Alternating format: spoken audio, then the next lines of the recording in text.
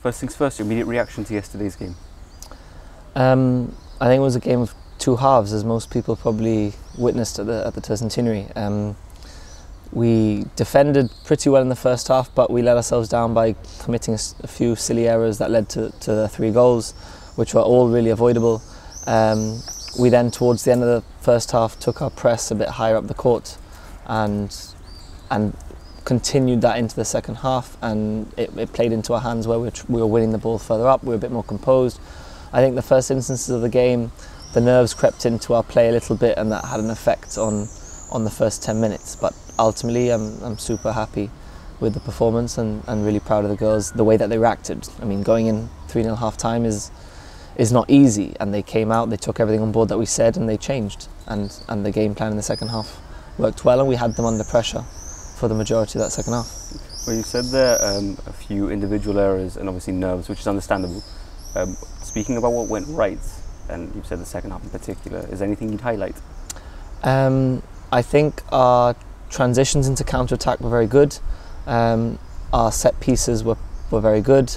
Um, also, the way that we pressed man for man all over the court, even when they, in most cases in the second half, were bringing out their goalkeeper to help them get out, we sat, so we sat back, we allowed the goalkeeper to receive, and then we went to press again and we won the ball back again.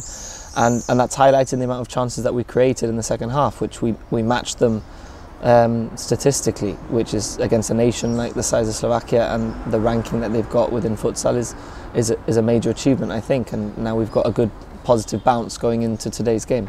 Well, speaking of today's game, what are you hoping to see from your squad?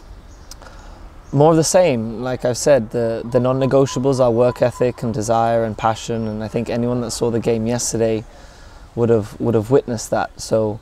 Um, we go into the game maybe with a slightly different game plan based on the opposition that we're playing against, but the those those key elements need to be there from the beginning. And now those nerves, I'm, I'm sure, are out of the way of the first game, and we'll go in, in from the first minute today and and make make ourselves proud and, and give a performance that is hopefully going to, to get us a result.